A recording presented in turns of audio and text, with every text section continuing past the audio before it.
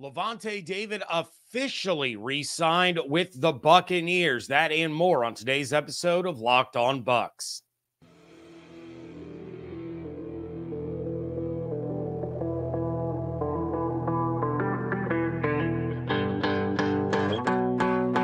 You are Locked On Buccaneers, your daily Tampa Bay Buccaneers podcast, part of the Locked On Podcast Network, your team every day.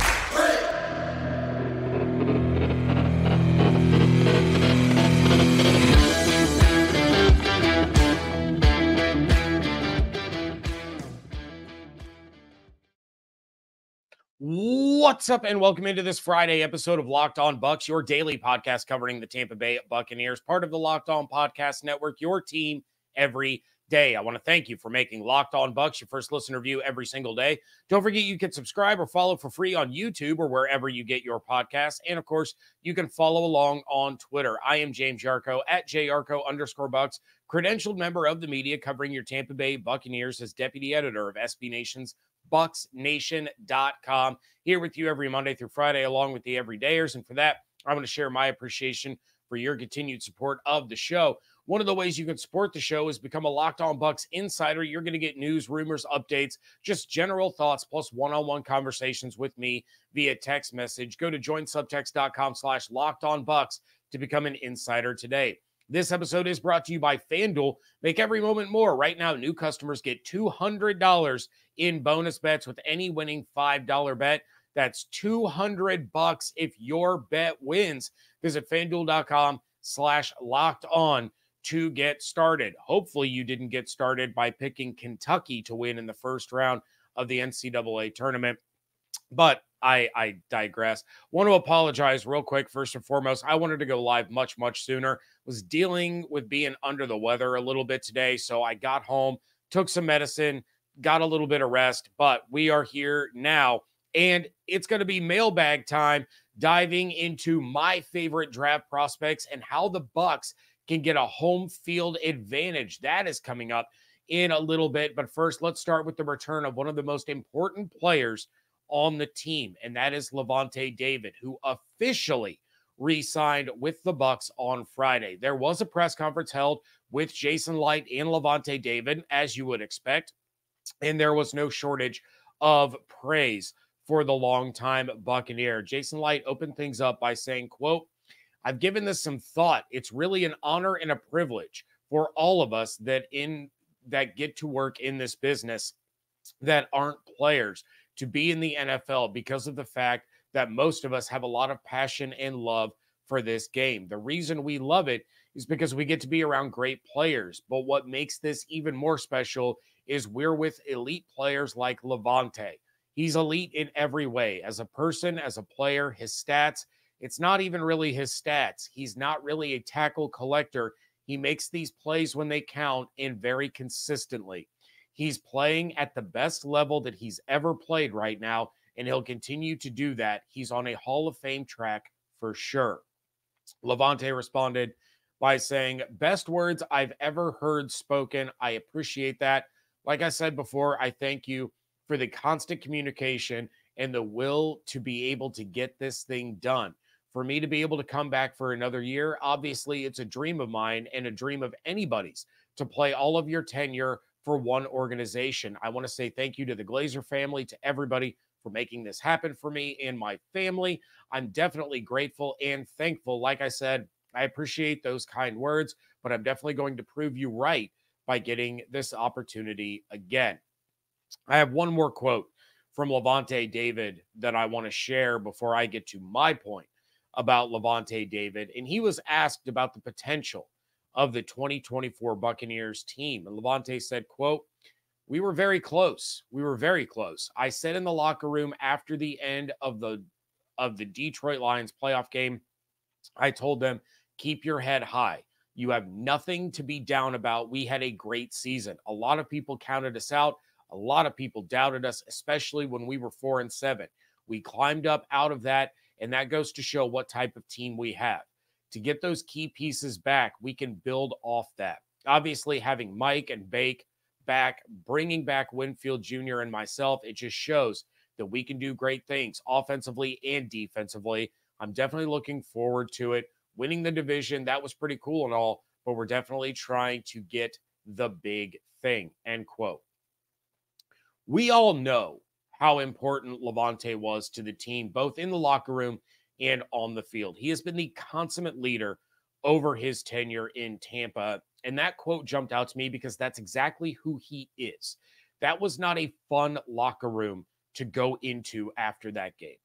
Those players just had their hearts ripped out and their season was ended. But Lavonte was the voice, the guy who was there for 2 and 14, the guy who played for Greg Schiano and the disaster that was Lovie Smith, who was on a last place team in the NFC South for six of his first seven seasons. And he had only played for a team that finished with a winning record one time until that Super Bowl run in 2020. He was in Tampa with Rondé Barber and Vincent Jackson and Gerald McCoy. He was there through the Josh Freeman and, and the Doug Martin roller coaster. You can't teach that kind of experience. You can't teach someone the kind of adversity that Lavonte David had to face and to keep battling back and to keep fighting instead of running off to another team and another situation that probably would have been better. Put aside the on field production. This is what Lavonte David brings to this Buccaneers team loyalty, trust, dedication, passion, love, perseverance, to be that constant in the building over the course of the last 13 years now. Being the leader that's going to help these young guys learn what it means to be a professional, the guy that dedicated over a decade to the community and stays with them through the bad because he knows what it means for Tampa and Buccaneers fans to experience the good. That's who Lavonte David is. That is why it was so important for the Buccaneers to make sure that he came back, to make sure that he stayed with this franchise that he was drafted by in 2012. This might be Lavonte's last year in the NFL. We don't know. As Jason pointed out, he's still playing some of the best football he has ever played. But you also have to think that this is going to be 13 years of professional football, of wear and tear on his body, physically, emotionally. This could be it. So, to be able to have a guy that is a Hall of Fame player that maybe the national media just can't figure out how to see, to stay with a team where he basically had his teeth kicked in year after year after year because he wanted to be with this franchise. He wanted to be a part of a team for those fans because he knew on the other side there was going to be opportunity to succeed and have playoff games and and potentially win championships which he finally did that is why Bucs fans are so glad that Lavonte David is back. Of course, they're happy to have him back because of what he does on the field. But off the field, inside the Advent Health Training Center, on the sidelines, in the locker room, in the film room, Lavonte David is one of one for the Buccaneers. And before this show started, David Stacks and I were in the chat talking about how Pewter Report had brought up, you know, who is the best all-time linebacker for the Buccaneers? Was it Derrick Brooks or was it Lavonte David? And you can draw parallels to these guys. Derrick Brooks was drafted to the Yucks and stuck with it and won a championship. Lavonte David was drafted to a Buccaneers team with Greg Schiano as the leader, with Mark Dominik as the general manager, to go through the alarm clock number uniform years with Jameis Winston and Lovie Smith and, and Dirk Koetter. And then come out on the other side with Bruce Arians, with Todd Bowles, with a Lombardi trophy, there's a lot of parallels between these two.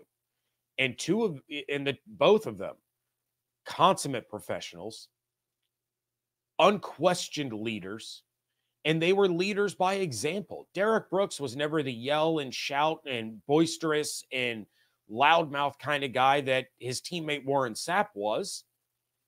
Lavonte's very much the same way. He is going to lead you by example. And he's going to go out there and he's going to get his job done every single week. But behind closed doors in that locker room, in that film room, when he speaks, everybody listens. And honestly, if you are a Buccaneers fan, you should take a moment to take a step back and think, wow, how lucky are we that we got to witness now coming up 13 years of Lavonte David in a Tampa Bay Buccaneers uniform. We are going to jump into the mailbag and talk a little bit about the NFL draft. That is coming up next on today's episode of Locked On Bucs, part of the Locked On Podcast Network, your team every day. This show is sponsored by BetterHelp. It can be easy to ignore our social battery and spread ourselves thin, especially with social gatherings picking up after the winter. I know for me, between my day job, the podcast, and traveling every weekend due to my son's schedule, I find myself drained faster and faster every day, but still having to push through in all situations, telling myself it's for the greater good, regardless of how I feel in the moment often ignoring my own needs in service of others. Speaking to someone on the outside without a personal bias in my day to day life can be extremely beneficial and help me reshuffle what I view as a priority versus what should actually be a priority. If you're thinking of starting therapy, give BetterHelp a try. It's entirely online, designed to be convenient, flexible, and suited to your schedule. Just fill out a brief questionnaire and get matched with a licensed licensed therapist and switch therapists at any time for no additional charge. Find your social sweet spot with BetterHelp. Visit betterhelp.com slash locked on today and get 10% off your first month. That's betterhelp, H-E-L-P dot com slash locked on.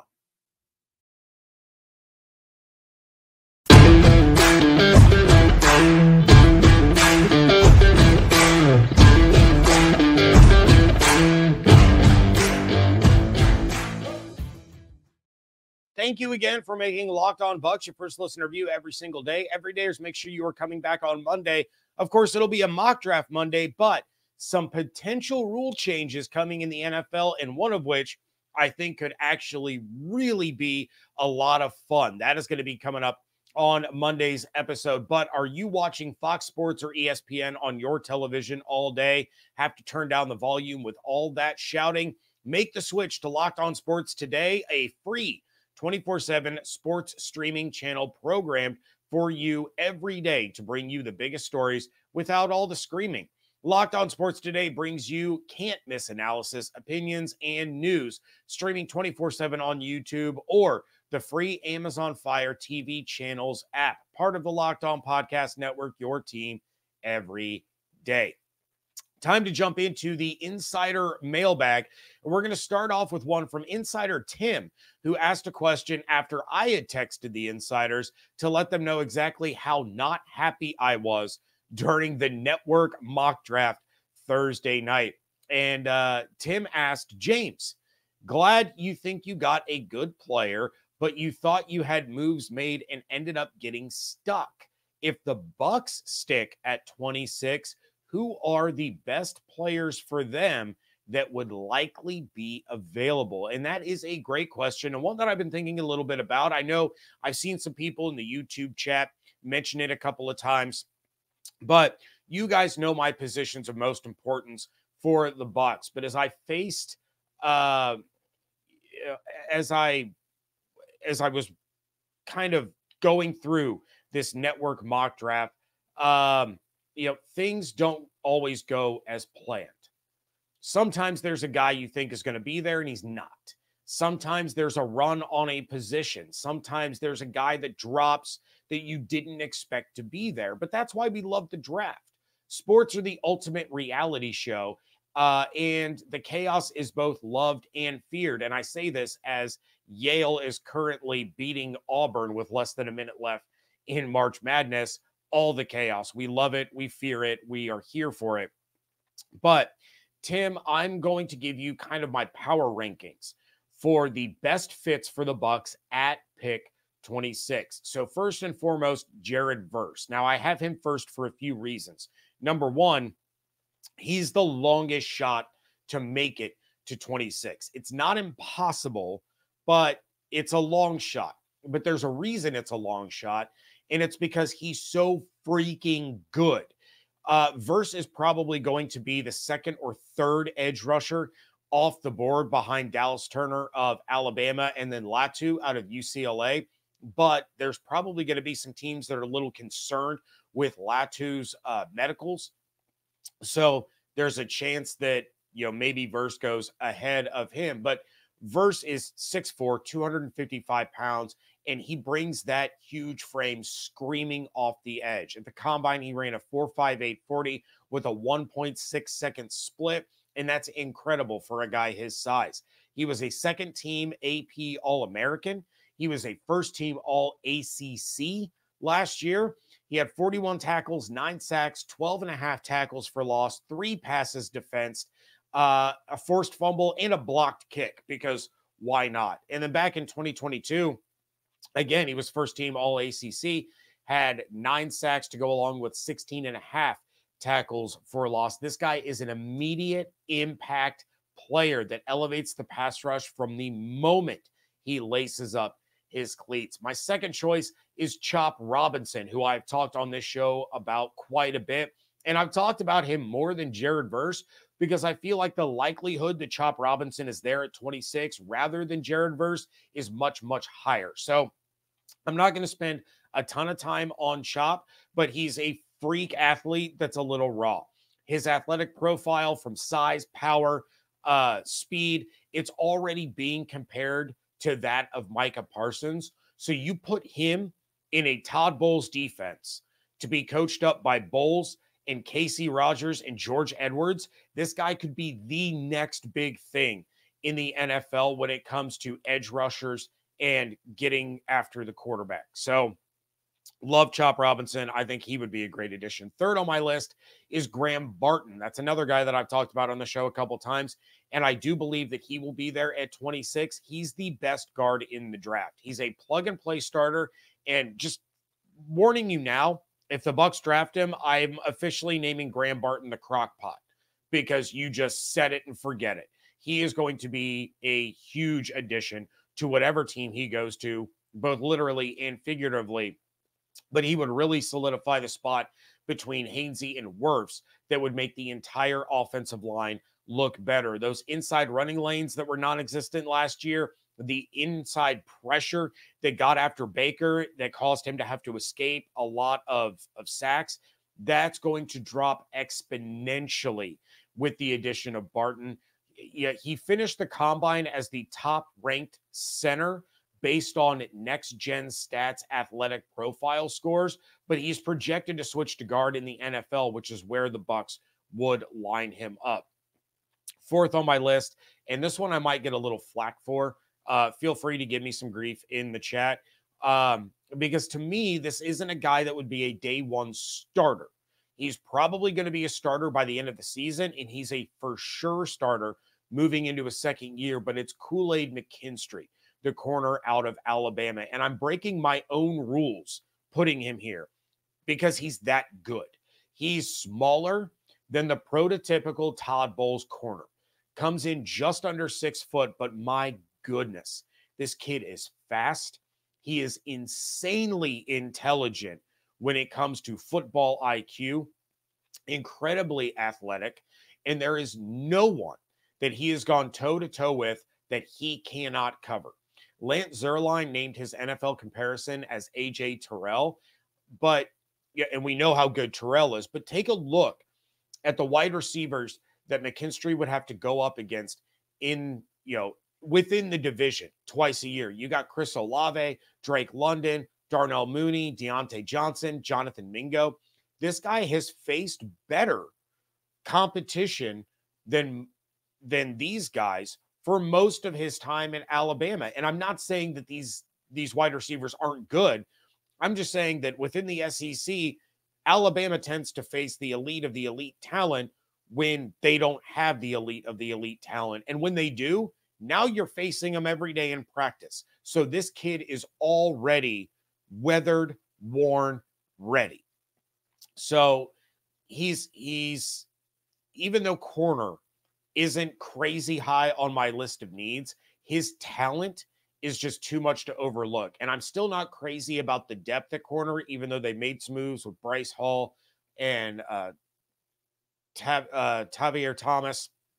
I, I'm still not crazy about the depth if Dean or McCollum miss extended time. Then I've mentioned on here the potential to move on from Dean after the season. You already have then an elite prospect in waiting to be your starter in 2025 that has a year in the system. And we know how difficult the system and the scheme is for guys in the secondary to learn. There is a drastic learning curve. So now you already have that out of the way and you got have a guy of Kool-Aid's talent ready and waiting to be your starter. And then finally Darius Robinson, another plug and play edge guy at 6'5 285. He ran a 4.95 40, but he had a 173 split, which shows you the get off can be pretty quick. Last year, he was a first team All SEC, had eight and a half sacks, 14 tackles for loss, and was a team captain, which I think is very important because it shows that he is a leader. He is respected by his teammates, and he's going to bring a level of professionalism with him, even as a rookie. He's not verse, he's not chop, but he's far from being a consolation prize. Going to jump into the chat real fast uh, and see what you guys are saying. Um, we got G Vegas says Kool Aid is better than the purple stuff. Kool Aid's delicious, man. I love Kool Aid. It's been a long time since I've had it. Used to make it all the time. All the neighborhood kids used to come over to my driveway to play basketball. And when we had a bunch of kids out there, I was making Kool Aid for everybody to drink in between games because it was either that or water. And we were all a bunch of like 10 and 11 year olds. We didn't want water. We wanted Kool Aid with six cups of sugar mixed into it. Um, we have Rick Dog Dog saying we have a goat in Mike Evans. Well, you know, can't can't argue that at all. But uh, yeah, definitely appreciate all you guys being in the chat. But another insider question came through asking how can the Bucs build a better home field advantage? That is coming up next on today's episode of Locked On Bucs. Say goodbye to busted brackets because FanDuel lets you bet on every game of the tourney. Whether you're betting on a big upset or a one seed, it's time to go dancing on America's number one sports book. Right now, new customers get $200 in bonus bets if your first $5 bet wins. That's 200 bucks to use on point spreads, money lines, over unders, anything you can think of. You can even pick who's going to win it all. The favorite to win it all and go back to back is UConn at plus 370, while Houston is plus 550. Purdue is plus 700, Arizona is plus 1200, and Auburn rounds out the top five at plus 1500. Meanwhile, my beloved Illini is sitting at plus 3500 odds to cut down the nets. Just visit fanduel.com slash locked on and bet on college hoops until they cut down those nets.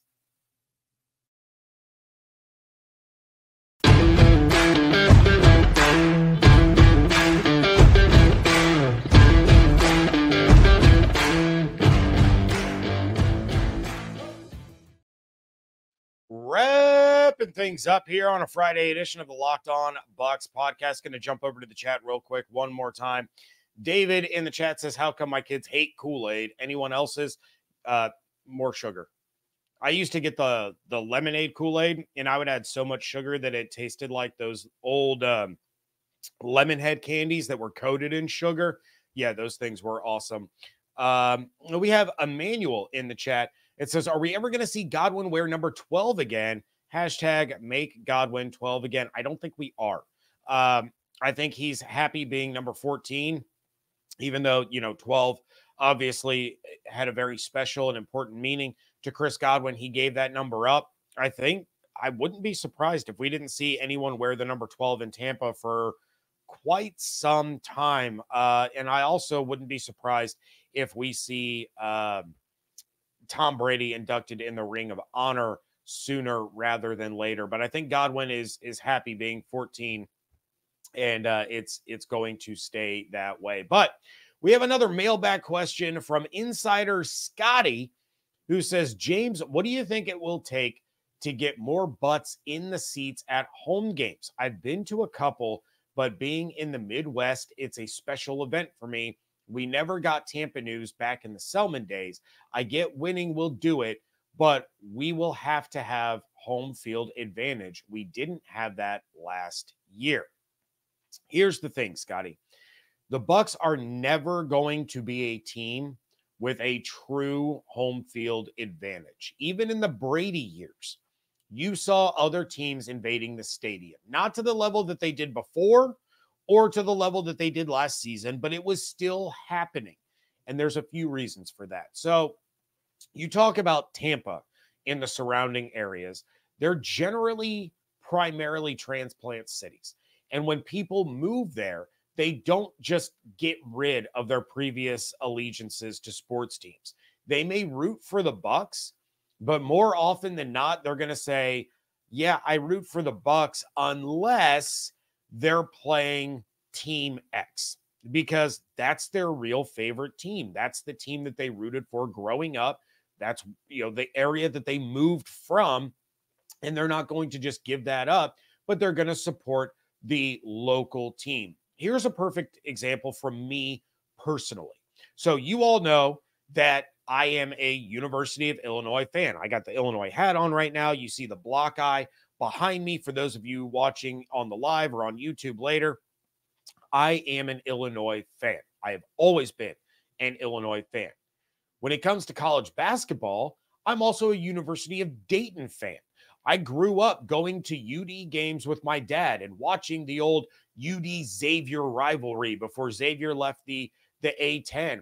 And I always root for the Flyers to do well. I was so disappointed when the March Madness in 2020 got shut down because the Dayton Flyers had a legitimate shot at being national champions with Obi Toppin. And I was heartbroken that the tournament got canceled. But if they play against Illinois, which is rare and it may never happen, I don't, thinking back, I don't think it's ever happened in my lifetime. But if they play against Illinois, I'm still rooting for Illinois because that is my team. I have that caveat. It's the same thing with football. I root for Notre Dame because my son is a huge Notre Dame fan. So we watch the games together and I root for Notre Dame to support him. I love South Bend, Indiana. I love that campus. I love when my son and I get to go there for hockey tournaments, but I wouldn't root for them against Illinois. I just wouldn't do it. So you have a lot of that in the Tampa area where people have moved from New York or Canada or Pennsylvania or Massachusetts or Ohio, and they aren't going to give up their favorite team, but they'll root for the local team until there's a conflict. You also see it happening with the Lightning. Watch a Lightning game when the Bruins are in town, the, the Maple Leafs are in town, the Penguins are in town. Uh, there's a huge influx of opposing team fans because the other issue is that it's a tourist state and a tourist city. And these games are tourist destinations. As soon as the schedule comes out, fans in cold weather cities want to take a nice warm weather vacation in November or December, and they will make the game the centerpiece of that trip. You're going to see it in Miami. You're going to see it in Los Angeles. You're going to see it in Jacksonville. That Bucs game will be a planned trip by a Bills fan or an Eagles fan or a Ravens fan when that game is around Thanksgiving, or maybe it's close to the kids' uh, winter break from school, so they don't have to miss any school. And now you can go from the cold weather down to a place where you're wearing shorts three days after Christmas. I know probably 20 different people that went to the Bengals game in Tampa two years ago because that game was in December and it was cold and crappy in Ohio. And they wanted to go watch their team coming off of a uh, a Super Bowl appearance face Tom Brady in the warm weather. So the home field advantage, like you see in Seattle or you see in Kansas City or Buffalo or places like that, it's just not going to happen in Tampa. If they're winning, you'll see less of it, but it's too much about the people that moved here and the people that want to come visit here that create crowds where visiting teams invade Raymond James Stadium. They want to escape the nasty weather where they live, have a nice trip with them and and you know the family or the kids or the wife or the husband or whoever and so they come somewhere nice with their football team or their hockey team being the centerpiece of their trip. So, with all that said, I'm going to jump into the chat uh, one more time, real quick. Uh, David in the chat says, Do you think they'll retire 12? I don't know. That's tough. Uh, kind of the general rule has been if you're in the Ring of Honor in the Hall of Fame, they're not giving your number back out. Um, so I think the officially retired numbers in Tampa are 63, 99, 55, 47, and 20. 40 is not retired, it's just not generally given out. Um, I don't know if they retire 12 for Brady, even though he already holds most of the passing records in franchise history and brought him a Lombardi. I think Mike Evans is locked and loaded. Um, you know, he's going to have his number retired. Um, Lavonte locked and loaded. He's going to have his number retired. Um, outside of that, I, I, would say anybody else is kind of up in the air. Uh, Daytona Dad, do you think Lavonte and or Mike Evans will have their jersey numbers retired in Tampa? Yes, I do. Daytona Dad. Yes, I absolutely do. Um, Scotty J in the chat uh, says, haha, just like me, special event, go Bucs. Yep, Scotty, I hope I uh, I answered your question all right. And real quick, I have to throw this out there. My dad just texted me. It popped up on my screen. Uh, and he just said, take that Evan Klosky, who said that Illinois was going to lose and Auburn was his sleepy choice to win the national championship. They lost to Yale. So there's that. And that's the note that we are going to end on. So please check out everything going on over at bucsnation.com. Make sure you're following on Twitter at locked on bucs at jyarcho underscore bucs. Become a locked on bucs insider. Go to joinsubtext.com slash locked on bucs to sign up there. Make sure you're subscribed to the YouTube with the notifications turned on, and we will be back on Monday. Hope you all have an absolutely outstanding weekend. Stay safe, stay healthy, fire the cannons. Want to thank you so much for joining me right here on Locked On Bucs, part of the Locked On Podcast Network, your team every day.